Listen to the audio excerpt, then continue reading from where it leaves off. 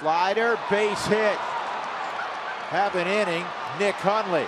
And coming home with the fifth run for the Rockies is Adames. 5-2 Colorado. That a baby Nick Hundley. How sweet do you think that felt for him as he was going down the line?